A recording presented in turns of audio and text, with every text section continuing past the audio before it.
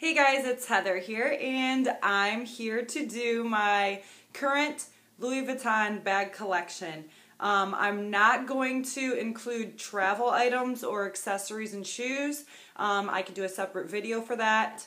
It'd be a little bit too long, so I'm just going to go ahead and go through my bags and just go by print, and you guys can see what I have. All right. Just to get started, I'm going to start with monogram, and this is the current bag that I'm carrying right now, which is the Galliera in the GM size. It's very full, very heavy. Um, I really like this bag. Originally, I was between this and the Delightful GM, which I kind of wish I got now because it's discontinued.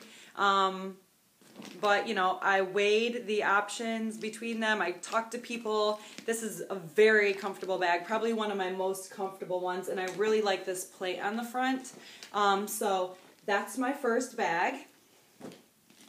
Next for monogram would be these next three are like antique is my Saumur 30 which it is undone.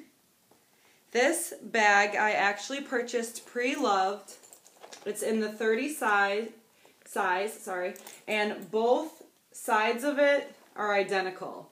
Um, they have, it's kind of like a saddle type of bag, and it's crossbody. So I really love this. I love the patina on it.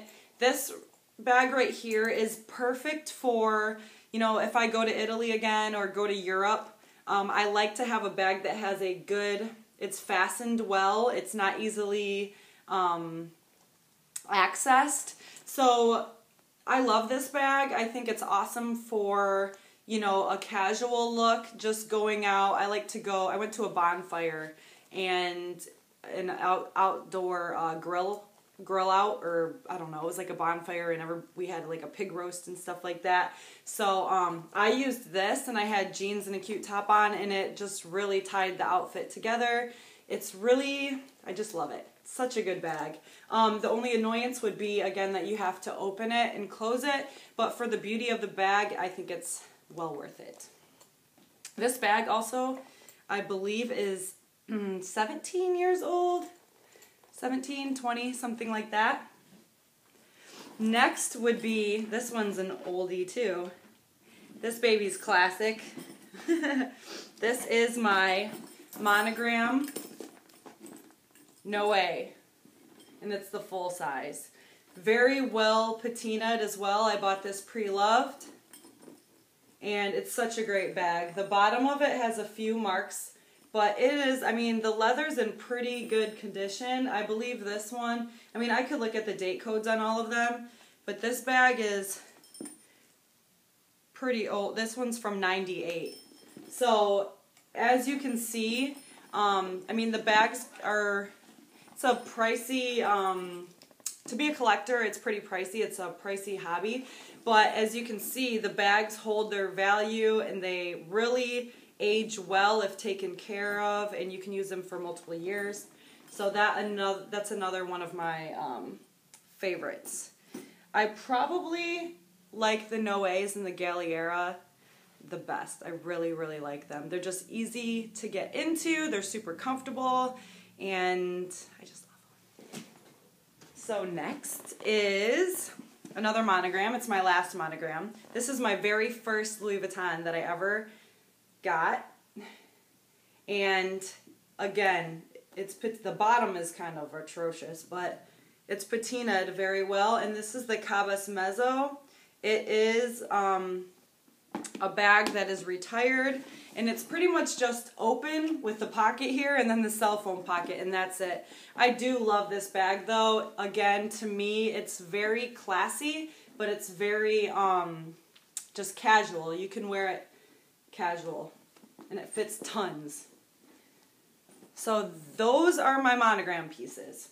Next, I will go ahead and do my um, Damier Ebene this, everyone sees this bag, but this is the Speedy 35.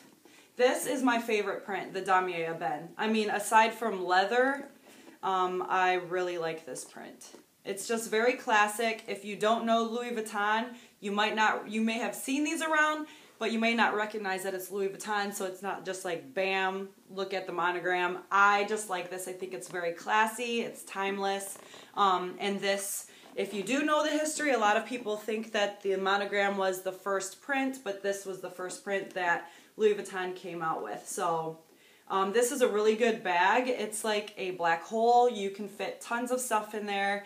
I really prefer to use the D-ring that's on the inside and um, clip like a, one of my um, pouches, like my pochette uh, accessoire in there so I can kind of locate things. but this is a really good classic iconic bag from Louis. It's very misshapen because I just grabbed it out of my closet. Next is another, I feel like all my bags are um, no longer being carried. well, a lot of them. This one is another retired bag. This is the Trevi GM Gorgeous bag. When I saw this in the window walking past uh, Louis Vuitton, I was like, dude, I need to have that. I'm saving my money right now. This bag is very, I wouldn't say very heavy, but it can be very heavy if you load it with stuff like I do. Um, it doesn't bother me like I can continue to carry it. I might carry it for a week or two and then switch it out, but it is just a gorgeous bag. I love it for the fall. It looks great around fashion week. You know, you can wear this on your shoulder, but it really looks cool just like hanging. Let me get up. Just like this. It's just a, a very pretty bag. And I'm a pretty tall person. I'm five foot nine, so just this bag takes up some good space, but it's just so pretty. And it has that amazing red lining to it. Very structured. It is a lot softer as I've used it, but it's I think it's one of the most well-made bags um, by Louis Vuitton. I feel like it's indestructible. Um, so this is one that will last many years and then if anyone knows anything about Damier Ebene, it's one that can be in the rain because it's treated, it doesn't get spots, it ages very well. My last Damier Ebene bag is the Neverfull, which is has tons of stuff in it, and it's in the GM size. And I actually use this bag every single day. It's probably been about three and a half years since I've had it and I really do not see much or any wear on it. I haven't seen any cracking or anything. Cross my fingers, knock on wood.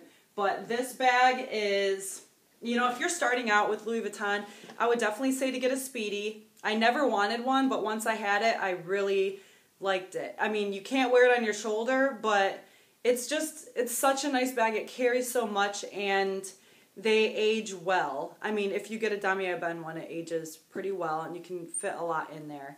This bag is awesome. I like to put my lunch in here. I like to throw any extra clothing if I'm running somewhere. I use this when I'm traveling. If I need a, for my personal item, I'd prefer to, especially around Christmas, I'll use this because I can shove a whole bunch of extra stuff in there. Plus I have my carry-on and I can fit tons of things that normally I would have to pay for like a second checked bag. So I use this to fit quite a lot of stuff and it's a great um, starter bag or just a bag that anyone should have in their collection. It's just very useful and it doesn't have to be the GM size but being a tall person and I really like larger bags, um, I, I prefer the GM size of most of them. So I'm going to go ahead and do the Damier Azur which I only have two bags. This is the Eva Clutch, and I currently have the strap on it, which I'm going to take off. Um, this has a beautiful plate on it. The Damier Ebene also has that larger plate. And then the monogram does have a plate, but it's a thinner bar to it, and I really liked that look. Plus, um, I feel I don't really go out a lot, but I feel I feel like when I go to dinner and everything, and also I live in Florida, um, people can wear a lot of lighter colors because the weather's a lot warmer. So this is a very summery bag, and it just looks really cute. You know, when you're going to dinner. Um, or just out for like a cocktail hour and I actually prefer to wear mine just like this the majority of the time. It's really pretty as a clutch as well but you know, I prefer to use it with the chain. If I am I haven't had issue wearing jeans, but I never wear new jeans and I never wear dark jeans because as people know with this lighter print there could be color transfer. So I try to use this when I'm wearing maybe like a cotton legging more. I have worn it with jeans, but usually I'll have a longer top or something where this would be touching the top rather than the jeans. Um, and I've used this for quite a bit and it is really doing well. It does not look bad at all. My last Damier Azur bag is very well used. this one is the Speedy 30. The other one was a 35. And I'm actually going to be selling this bag soon because I think I want another Neverfull in this print. I feel like it's a larger bag for me and I can fit more things. Um, but this is a great bag and it looks really good in the summer. I've seen people carry them in the winter as well. Um, but if anyone is interested, you can contact me. It does need a couple repairs, which I'm very willing to um, show you guys, you know, I want it to be fair and square. I did go into the boutique to see what it would cost to completely repipe this bag. It would be $200. And then to do repiping and full new handles and everything, I think they said 280 or 300. But um, this bag is well over, I think it's around a thousand right now, maybe a little bit over a thousand. So um, if I do sell it, I'm going to take off the repair costs because obviously the person would probably want to go repair it. That way, you know, you're not spending extra. But the bag is, it's aged well. I might as well show this in a video so you guys can see what it actually looks like. The inside of it's pretty good. I think there's like one really tiny spot in there, but I mean, as you use a bag, that happens. I mean, it's aged well. Um, the only two repairs, the reason why I brought that up, this corner's fine. This corner, as you can see, the piping is starting to come out. This corner is fine, and then the fourth corner, the piping is starting to come out. So just to get the it repiped, I mean, the bag would be like new. So, as you can see, the handles are a little bit darkened. So if you decided to replace everything, it'd be like almost 300. But yeah, that's this is a really great, great bag. I just already have a Speedy and I'm thinking I might want a Neverfull. I don't know. I, am starting to really like the look of the Damier Azur Neverfulls. Maybe in the MM size. Um, next would be Epi, and this is my only Epi piece, and it's another Noé. I'm actually in love with this. I saw the cyan color in the boutique just this past year and I fell in love with it. And this is actually the Toledo Blue, which is an antique color. This bag, I think, I mean, it is like immaculate condition. I bought this pre-loved. It's 20 years old, again, another retro bag, and it is gorgeous. It's Toledo blue. I just really like bags with a pop, and this is pretty banging. I mean, it the inside of it is flawless as well, and I paid pretty much like nothing for it. Um, I paid the price of a like mid-priced Coach purse. So if anyone knows the price of that, I stole this thing, pretty much. Um, but I just love this bag. I think the Noé again is one of those just you have to have it bags. It's just so different looking and it was originally made to hold champagne bottles so hey if you're going to a party you need to throw a champagne bottle in there you'll know it will fit. And last but not least is um, so that was my only epi leather, sorry. And then this one is also full leather. It's um, the Artsy Empreinte and this is in the Infinity color, um, which is a beautiful, like a deep, deep, deep blue, navy blue, which I guess is discontinued now. They just um, switched this out and now they're, uh, they have black. And I love this because sometimes it appears to be black and then other times you can see the beautiful blue. I think this is probably one of the best classic, just sexy colors that they've come out with. And this bag was the one that was always in the boutique at the top shelf, and there was a light on it, and it was like, oh, and, and, and, it, and the little voices were saying, you can never afford me, you will never have me, Well, guess what? I got determined, okay? I just turned 30 this last year. And I said, hey, for my 30th birthday, I'm to get that bag. So I sold, I actually had a couple other bags. I sold them. I had the Tivoli, I had the Salsa, and another one. I sold them, um, and the new owners love them. Um, and I bought this. I thought it was worth it. Those two bags I was not using as much because, again, I like larger bags. So to me, it seemed like a fair trade. It's just, it smells so good. It is a little heavy. The way that I like to load my bags full of stuff, it is pretty heavy, but it is gorgeous. This thing is, and it smells so good. Say that again.